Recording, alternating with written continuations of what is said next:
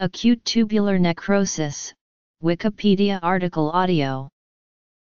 Acute tubular necrosis is a medical condition involving the death of tubular epithelial cells that form the renal tubules of the kidneys.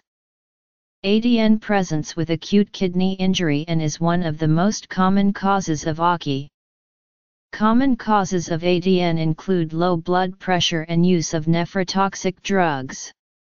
The presence of muddy brown casts of epithelial cells found in the urine during urinalysis is pathognomonic for ATN. Management relies on aggressive treatment of the factors that precipitated ATN. Because the tubular cells continually replace themselves, the overall prognosis for ATN is quite good if the cause is corrected, and recovery is likely within 7 to 21 days. ATN may be classified as either toxic or ischemic.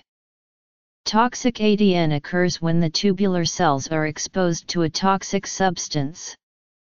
Ischemic ATN occurs when the tubular cells do not get enough oxygen, a condition that they are highly sensitive and susceptible to, due to their very high metabolism. Classification Diagnosis Acute tubular necrosis is classified as a renal cause of acute kidney injury.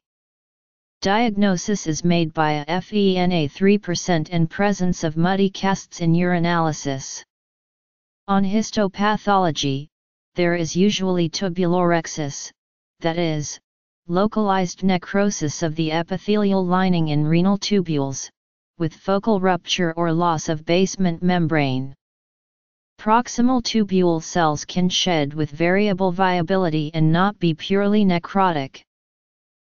Toxic ATN can be caused by free hemoglobin or myoglobin, by medication including antibiotics such as aminoglycoside, statins such as atorvastatin, and cytotoxic drugs such as cisplatin, or by intoxication.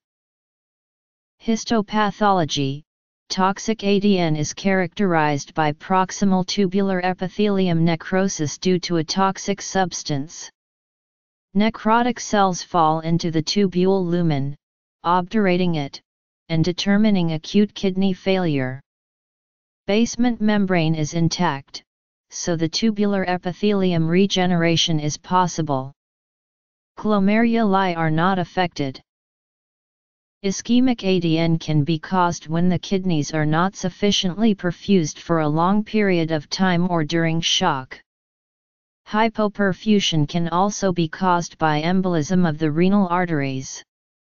Given their importance in massive nutrient and electrolyte reabsorption, the proximal tubule and medullary thick ascending limb require significant ATP and are most susceptible to ischemic damage.